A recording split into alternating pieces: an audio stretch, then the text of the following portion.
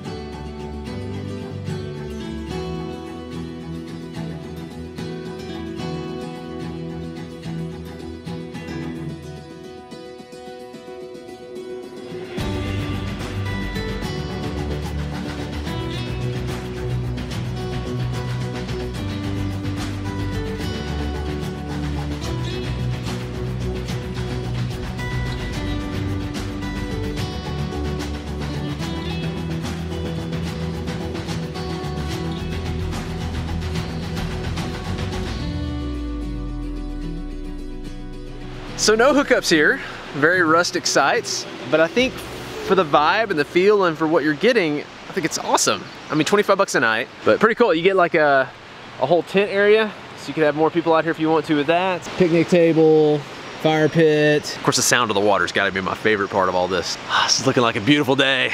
Man. You like that book, buddy? Did you know we read that to you when you were little, Hensley? Yeah. Judy can pat the bunny. Now you can pat the bunny. You want to pat the bunny? Pat the bunny. Good job. Pat the bunny. Now you pat the bunny. You want to pat the bunny, buddy? Pat it with his elbow. How about that? We'll just pat it with his elbow. Good job. Did you sleep okay? Ironically, you're not the loudest baby in this RV.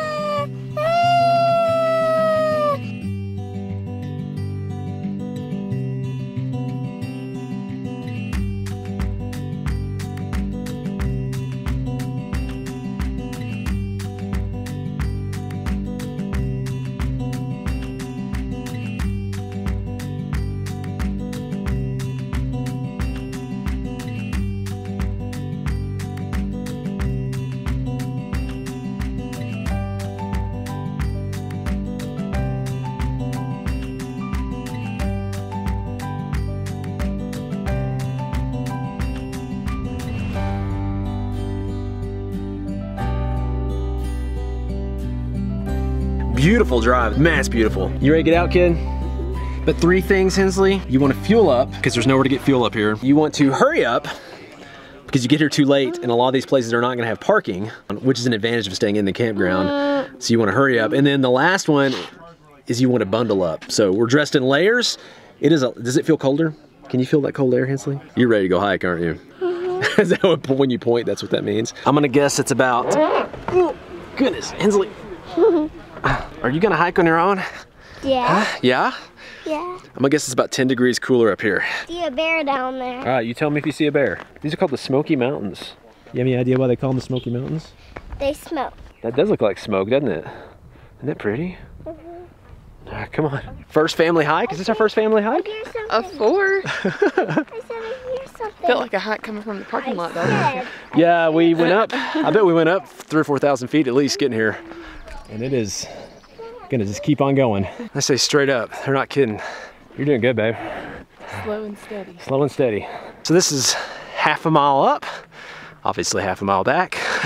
Hensley's even got the energy to climb rocks, don't you? You're just showing off now, kid. Showing Oh. off. How you gonna get down? Slide. Oh yeah, is that the plan? There you go. We'll climb some more rocks. All right, let's find some more. We'll find some more up here. Come on.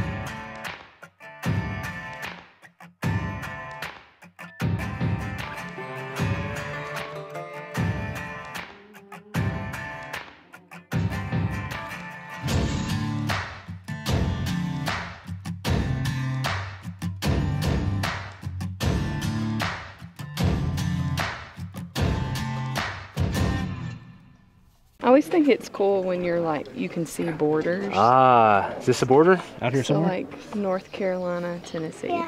we uh may not have timed this perfectly. Climb all this to get in a cloud. Or Clingmans Dome is the highest point on the Appalachian Trail. Oh, that's a cool fact. And the highest point in the Smoky Mountains. That's pretty cool. Yeah, 6,643 feet. this is just cool right here. When I fall, See a little bit down there. I guess that's why it's called the Smoky Mountains, huh? Yeah, that might be tip number four, like keeping an eye on the weather. What's up? You want up higher? Hey, Daddy. what's up? I, when I fall, will you catch me? Yeah, I'll do my best. What do you think about it up here? Isn't it smoky up here? Isn't this crazy? Oh, it's just coming in now. I can't see. Can't see like five feet in front of our faces. You can look at this. Yeah, that's what it would look like. We hiked like. all the way up here to see this cool picture Yeah. of what it would look like. How long has it been since she was in this? Well, you did. We did a hike here with her in that. Say hi. Say hey. Oh. Yeah, I carried Hensley in this carrier in this national park when she was not much older than him. No, you were probably maybe two or three months. You were pretty little.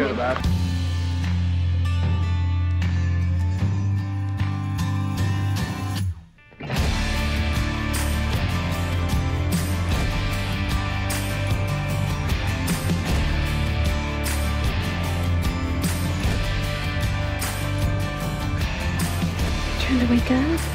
Oh. How's your first camping trip? He likes to dress for the occasion like his mom. Show him your shirt. It's got little little airstreams, tints on it. Oh, it. look at you. you did good today. You just pretty much slept the whole time. it's actually way easier than Hensley. Remember Hensley was lightweight. We could just do 10 miles, throw on her back and go. She'd just sleep. Oh yeah, back in the day.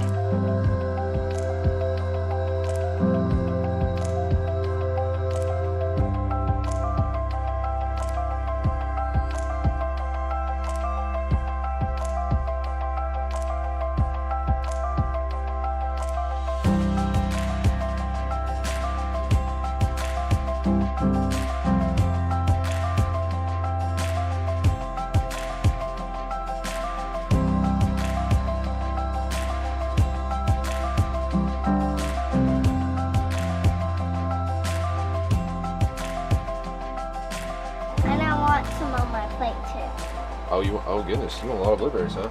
Hensley, you want coffee? Um, nothing. No. I, I have strawberry lemonade. Strawberry lemonade coffee. No, you gross.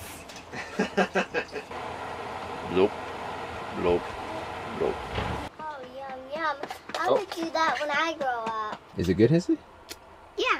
So one of the things that just never gets old to me about RVing is just that you've got this on the outside. But then we wake up in the morning, I mean, for the most part, we still got the Battle Born lithium batteries. We got the Truma endless hot water heater going on. I mean, for the most part, life just goes on like usual. I mean, we're eating pancakes, we're hanging out, making my coffee like usual. Pretty much like any other day. Except when we walk out of our home, we walk out here. Just never gets old. Love it. Are you ready to go to Cades Cove, buddy? You ready? Count by tens. Are you ready for Cades Cove, Hensley? 30, What's 40, 50, 60. Um, it's just a really beautiful place we're gonna drive around and check out.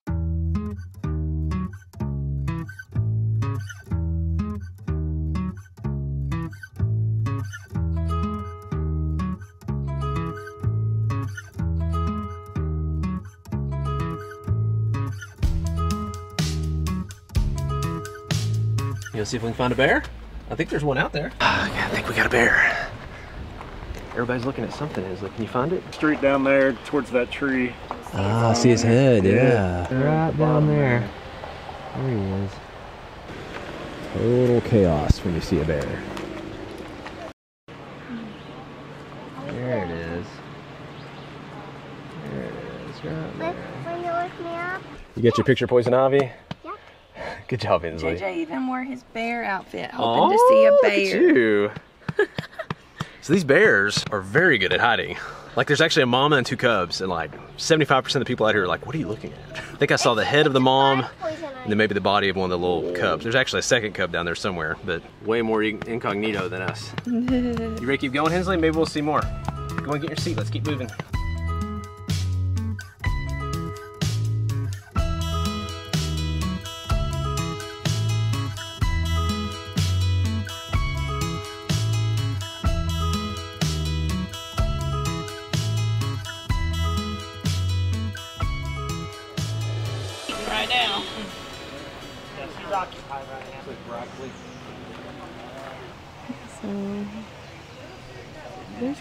Baby in a tree up there.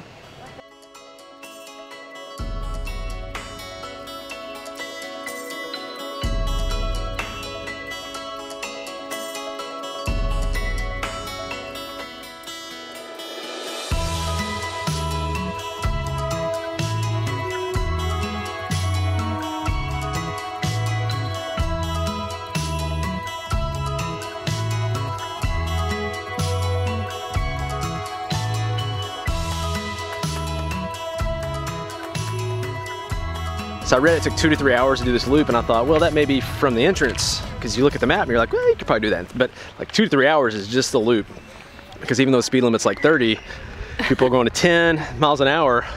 You're like back to back, and then people are stopping to see bears and wildlife, and so stopping traffic too, like every few miles. So yeah, two to three hours just for the tiny loop at the end. If you look at the giant map, um, I mean, if you're coming from the entrance, it'd be like a it'd be like an all-day deal if you're not inside the national park like us. So there's a lot of historical buildings here, as in like pre-1900 type stuff, um, 1800s churches, and look at this barn over here. That's cool. Look at this, Hensley. Does it turn? Uh, I bet it used to. No, it's operating. It should uh, be repaired any day now. Oh, it does say. operate still? So this is a John Cable grist mill built around 1868, pretty much all original. And she said that even um, it's usually operational. It's not operational today. It should be fixed any day now, but they're usually grinding cornmeal and stuff like that that they sell that you can buy inside there.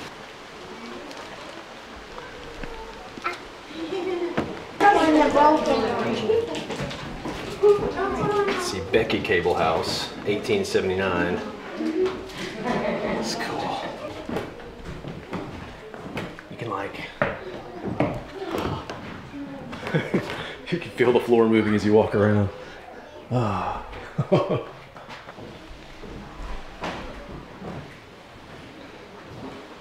What's this, Hensley? Do you know what this is? What is it? It's, it's a wood carrier. A wood carrier. Yeah, Daddy.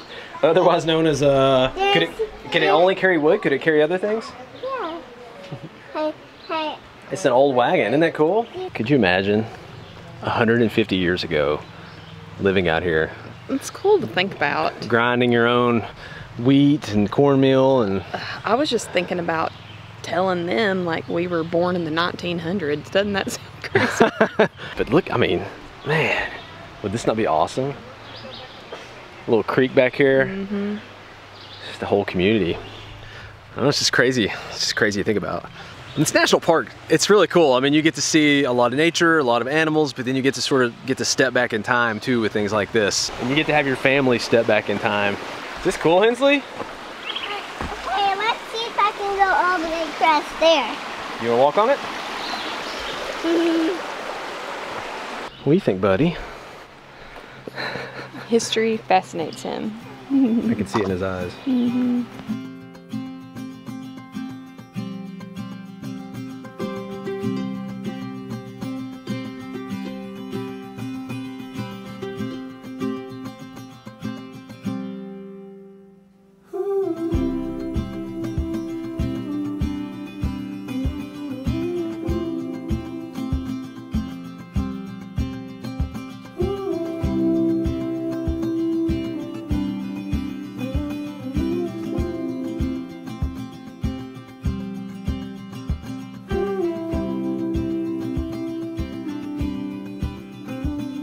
Maybe being out here doesn't look as uh, as fun anymore. You gotta watch out for the wild hogs, but you're good to go because you got this trap. This is what we saw earlier. Did you see it in the tree? He was really hiding. Did you see the little bear in the tree? That's how little it was. Look how fast they breed, like rabbits, compared to bears and deer.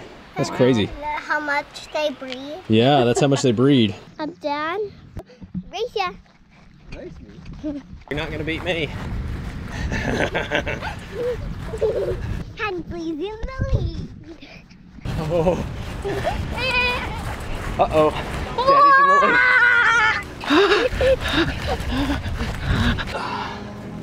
Good job. We made it.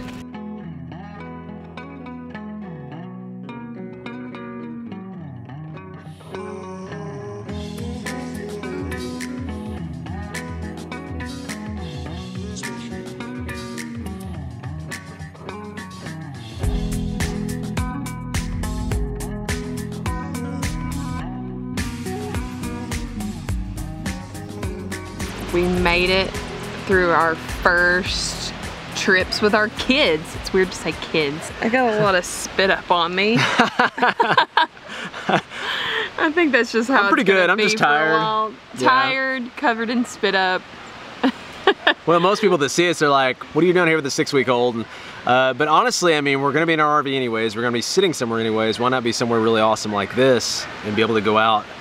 And, and it's cool because since we're here in Elkmont, like it's so much closer to get to everything. We would have spent hours and hours if we drove in from Pitch. I don't think we would have had it in us, honestly, like all the driving. Because once you get in the national park, it's so big, there's still a lot more driving.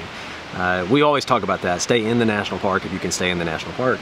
And this has been awesome. Well, we want to we want to pass that on to our kids, Mm-hmm. like the love of adventure and of our national and state parks. Mm-hmm. I love that they preserve the history we got to check out today. Yeah. It's just an easy teaching opportunity, you know, for Hensley and uh, for. JJ in the future when he wakes up. But Yeah, he kind of slept through this whole trip so far.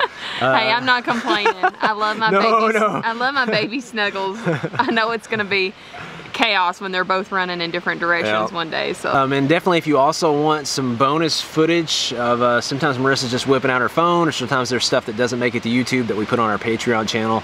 But just lessjunkmorejourney.com slash Patreon if you want to check that out. Uh, we've had an awesome time here. I love it's not quite the beach, I guess, with the water, but it's pretty awesome if you like going to sleep because you could definitely open your windows and hear this water here.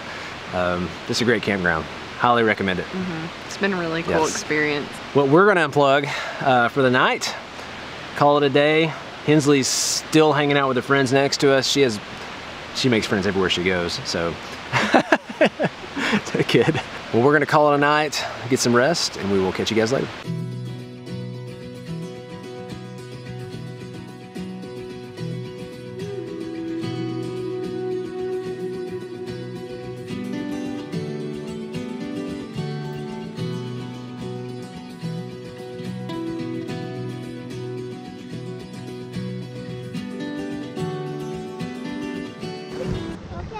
Guys, see you on the water.